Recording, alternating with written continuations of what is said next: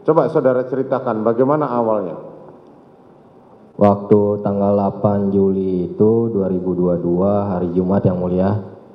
Saya eh, jam sekitar jam 7 dapat telepon dari call center kantor saya. Call cen- eh, kantor saudara apa namanya? PT Bintang Medika yang mulia. Bintang Medika. Oke, kemudian? Lalu mengabarkan kalau ada yang membutuhkan layanan ambulan yang mulia. Oke. Ya, jam 19.08 saya dikirimin sama call center saya Sherlock lokasi penjemputan yang mulia. Oke. Lalu lalu saya prepare yang mulia untuk menuju ke lokasi Waktu itu persiapan. lokasinya di mana? Saya belum melihat yang mulia. Oh, belum lihat. Iya. Oke, terus?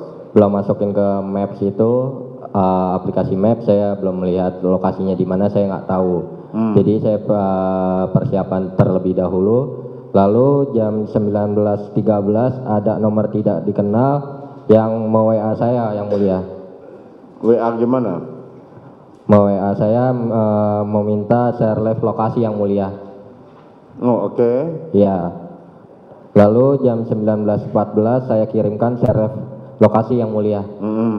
Nah, eh, Saat itu saudara belum tahu lokasinya di mana ya? belum. Oke, kemudian? Lalu saya mundurkan mobil eh, sambil bermain HP, saya masukin ke Google Map yang mulia. Saudara saat itu berangkat dari mana? Pancoran Barat 7 yang mulia. Pancoran Barat 7. Memang ke kantor saudara base campnya di sana? Tidak yang mulia itu hanya rumah singgah saya. Oh, rumah singgah. Oke. Baik yang kemudian? mulia. Kemudian? Kemudian saya jalan dari Tegal Parang yang mulia. Hah? Jalan dari Tegal Parang. Oh, Tegal Parang. Iya. Oke. Menuju ke titik eh, lokasi penjemputan yang dikirim yang mulia. Nah, terus? Lalu eh, nyampe di depan Siloam Duren 3 ada orang yang tidak dikenal mengetok eh, kaca mobil yang mulia. Mm-mm. Bilang, "Ma- "Mas, Mas, Mas, eh, sini Mas," katanya. "Eh, saya yang pesan ambulan." Oh, langsung saya ikutin yang mulia. Oh, dia yang pesan Iya, ambulans, saudara iya, ikutin. eh, beliau naik motor yang mulia. Hmm, terus? Lalu beliau eh, masuk ke dalam komplek. Eh, ada gapura yang mulia. Hmm. Di situ saat ada salah satu anggota propos yang mulia. Oke. Lalu saya di stop, ditanya mau ke mana dan tujuannya apa. Saya jelaskan, permisi Pak, selamat malam. Saya eh, dapat arahan dari kantor saya eh, untuk menjemput di titik Sherlock lokasinya. Saya kasih lihat ke anggotanya yang mulia, ke petugasnya. Lalu katanya beliau, "Eh, ya sudah mas, nanti lurus aja, ikutin nanti eh, diarahkan. Minta tolong rotator ambulan dan sirinenya semuanya dimatikan. Oke, terus? Lalu saya ikutin arahan dari Bapak Propos. Eh, saya jalan lagi yang mulia mengarah ke lo- eh, titik lokasi penjemputan. Lalu nyampe di titik eh, Sherlock penjemputan itu memang sudah banyak. Lalu saya diarahkan untuk parkir mobil. Parkir mobil lalu saya mau mobil diarahkan eh, buntut mobil itu masuk ke garasi duluan yang mulia. Hmm. Lalu eh, sudah saya parkirkan di dalam garasi, saya turun, eh, lalu saya buka pintu belakang, turunkan tempat tidur ambulan. Dikarenakan di situ ada dua mobil yang mulia, ada mobil eh, Innova 1 sama Fortuner 1, jadi tempat tidur ambulan saya tidak muat. Lalu saya mengambil tandu, sekop, Hmm. eh, untuk alat bantu evakuasi. Itu kan eh, lalu saya bilang sama bapak-bapak yang ada di lokasi pak izin karena nggak muat ini saya bawa hanya hanya bawa tandu saja. Oh ya sudah mas nggak apa-apa.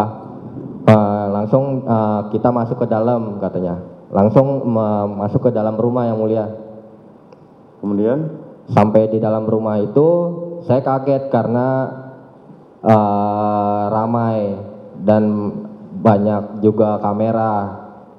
Lalu eh, Mas minta tolong tunggu di situ aja. Saya posisinya di dekat kaca yang mulia. Oke. Di kaca di kolong di eh, salah di belakangnya itu ada kolam ikan yang mulia.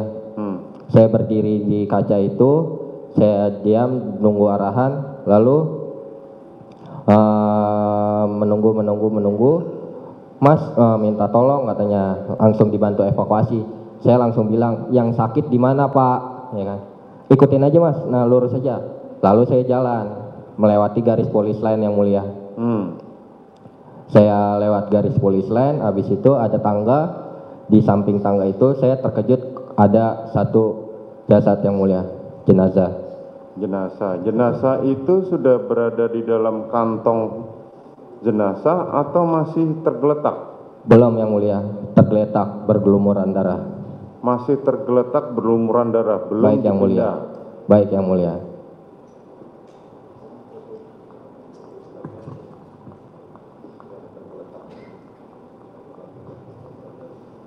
Oke.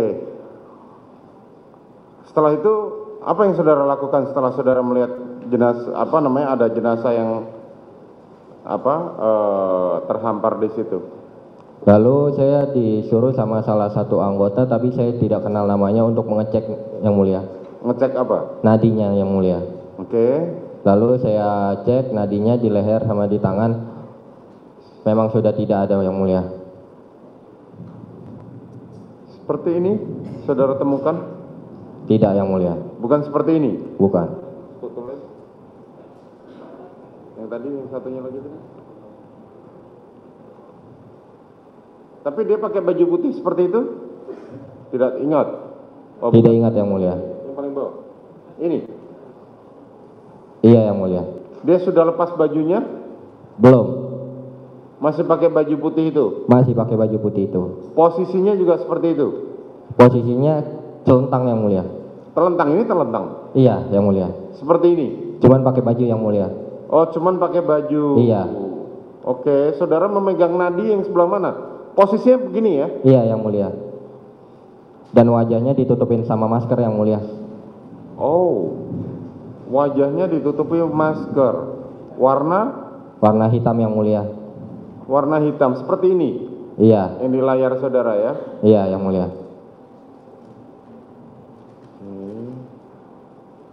Bajunya tidak tersinggap begini ya. Iya yang mulia. Terus yang saudara pegang nadi sebelah mana? Di sebelah kiri yang mulia. Nadi sebelah kiri. Otomatis saudara melewati genangan ceceran darah itu. Iya yang mulia. Oke. Saudara nggak dijelaskan ini siapa dan apa segala macam. Tidak sama sekali yang mulia. Saudara memegang na- denyut nadi, apakah tangan saudara masih sudah di dengan apa namanya? Dengan alat pelindung yang mulia. Oh, sarung tangan alat latek. pelindung. Oke. Iya, sarung tangan karet yang mulia. Saran tangan karet saudara melihat. Oke, kemudian Lalu saya cek nadinya, kalau sudah tidak ada nadinya yang mulia. sudah tidak ada nadinya. Iya. Kemudian Lalu saya bilang sama bapak-bapak yang di lo- lokasi, izin pak, sudah tidak ada. Lalu eh, pasti mas katanya, pasti pak. kemudian Lalu dicek kembali sama bapak-bapak yang di lokasi. Eh, terus ya udah mas minta tolong dibantu evakuasi. Saya bilang izin pak ambil kantong jenazah. Memang ada di mobil kamu kantong jenazah. Ada pak. Eh sudah ambil. Saya jalan tetapi saya diikutin sama anggota. Tapi saya tidak tahu namanya. Lalu saya ambil kantong jenazah di dalam mobil. Masuk kembali ke dalam rumah. Saya pas sebelum menggelar kantong jenazah itu saya bilang, izin pak gelar kantong jenazah. Oh silakan mas katanya. Ya sudah, saya langsung eh, gelar kantong jenazah. Lalu saya langsung ditanya karena itu kantong jenazah ada tulisan Korlantas Polri yang mulia. hmm. Eh, saya langsung menjelaskan, izin pak saya dari mitra kecelakaan Satlantas Jakarta Timur. Saya yang membantu untuk mengevakuasi kecelakaan atau TKP. Saya mitra kepolisian, saya bilang begitu. Oh iya iya mitra kepolisian Jakarta Timur katanya. Baik pak. Ya sudah mas minta tolong langsung dibantu. Baik pak. Langsung saya dekatkan itu eh, kantong jenazah sama jenazahnya yang mulia. Oke, terus Lalu saya bilang sama anggota yang di rumah itu, Bapak boleh minta tolong dibantu. Kebetulan saya yang di bagian kepala yang mulia. Saya ambil tangannya kanan kiri, baru eh, dibantu sama bapak-bapak yang lain, dibantu diangkat yang mulia untuk memasukkan ke dalam kantong jenazah. Oke, saat saudara mengangkat jenazah korban, Iya yang mulia. Kan tadi saudara mengatakan saudara memegang kepala. Baik yang mulia. Ada sudah terhambur, ada keluar darah banyak? Pas diangkat itu megangnya tangan yang mulia. Hah? Tangan, Oh, bukan kepala. bukan yang mulia. Oke, kemudian? Dua-duanya Oh, tangan begini ya. Oke. Dari bawah waktu diangkat kepalanya ada mengeluarkan darah? ada yang mulia. Banyak? Itu nggak tahu keluar dari dalam organ tubuhnya atau dari genangan yang di eh, lantai itu yang mulia. Saya kurang ngerti juga karena saya tidak mengecek-ngecek lagi dan itu jenazah eh, ditutup masker. Saya tidak membuka-buka masker itu lagi. Oh, masih masker ya? Iya yang mulia. Ada lubang maskernya? Saya kurang lihat yang mulia. Kurang lihat. Iya. Yang Luka apa yang saudara lihat pertama kali melihat jenazah? hanya luka tembak yang mulia. Ya di mana? Di sini yang mulia, di dada. Tahu dari mana kalau itu luka tembak? Ada bolongan yang mulia. Oh, ada bolongan. Oke, di dada. Iya yang mulia. Sebelah kiri, kanan, Sebelah kiri kalau tidak salah yang mulia. kiri. Kemudian apa lagi? Lalu darah yang mulia. Pergelangan? Tidak, tidak. Saya tidak lihat langsung. Saya teliti satu Enggak, persatu. pergelangan kan saudara memegang pergelangan tangannya, Iya yang mulia. tangan korban. Iya. Ada bekas luka tembak? Tidak melihat yang mulia. Karena wah, satu faktor buru-buru juga yang mulia. Ya. Leher ada? Saya tidak lihat yang mulia. Tidak lihat. Di belakang kepala? Tidak melihat yang mulia. Tidak melihat juga. Saudara masukin dalam kantong jenazah. Baik yang mulia. Setelah itu saudara dibantu itu ya Iya, jenazah. yang mulia. Dibantu Baik. berapa orang? Kalau tidak salah tiga atau empat orang yang mulia. Ya, karena kan tubuh korban lebih besar daripada tubuh saudara. Iya yang mulia. Nah, oke, kemudian Lalu eh, dimasukkan itu jenazah karena kakinya terlalu panjang yang mulia, nggak muat di kantong jenazah yang biasa saya. hmm, Saya lepit kakinya sedikit yang mulia. oke. Saya lepit biar supaya bisa masuk ke kantong jenazah. Ah, Baru udah ke saya lepit sedikit, udah masuk ke kantong saya resetting.